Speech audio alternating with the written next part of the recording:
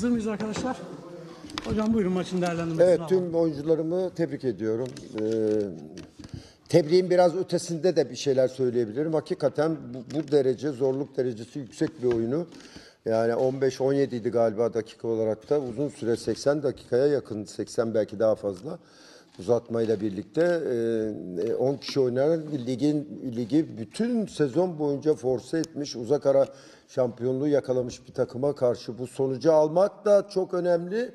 Bu dirençli oyunu da göstermek çok önemli. Evet rakip bizi zaman zaman önemli ölçüde baskı altına aldı. Bu çok daha zaten Eyüp takımının normal 11-11 baskıya almadığı takım bu ligde yok gibi. Dolayısıyla hem bu anları iyi mücadele ederek geçirdi hem de kontrataklarda çok tehlikeli olduk. Yani kontrataklardaki e, gol kaçırma e, şeyine sayısına baktığınız zaman bizim gol pozisyonlarının çok evet onların gol pozisyonu fazla Gol atakları çok fazla ama bizim gol, gol pozisyonların netliği çok çok fazla. 2-3 tane e, offside hariç 2-3 tane de kaleciyle karşı karşıya kaldık.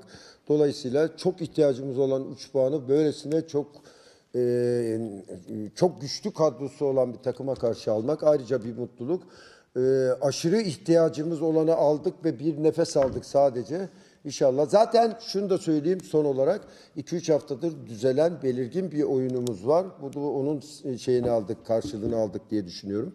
Tekrar tebrik ediyorum ama bu şeyi e, kısa süre 3 gün sonra tekrar bir oyun var. Tek hemen unutup hemen sevinçlerimizi bırakıp Gençler Birliği maçına da kazanarak bu alt şeyden bir an önce daha kurtulmak istiyoruz. Tebrik ediyorum tekrar Sorusu tüm oyuncuları. Sağ olun, teşekkürler. Sağ olun. Buyurun hocam. Thank you.